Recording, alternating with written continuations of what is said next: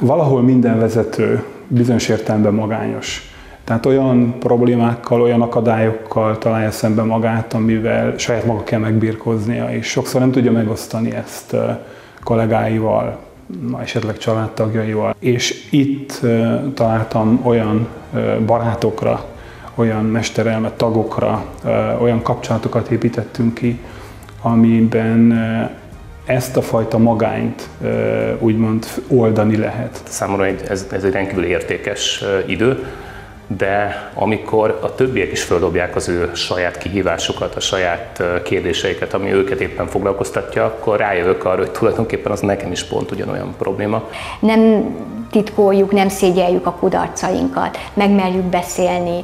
Szerintem nincs olyan üzletember, akinek ne lettek volna mélypontjai, és ezt mi nyíltan felvállaljuk és megbeszéljük. Nincs vezetői magány a csapatban. Nagyon sok uh, vezetői problémát és gondolatot nem tudnám, hogy kivel osszak meg, és kivel beszéljek meg, e, és a csapatom ebben mindig óriási segítséget tett számomra. Már miatt is boldogan megyek el, és hát amikor eljövök, akkor továbbra is megvan az izgatottság, sőt, talán még izgatottabb vagyok, hogy mikor lesz a következő alkalom.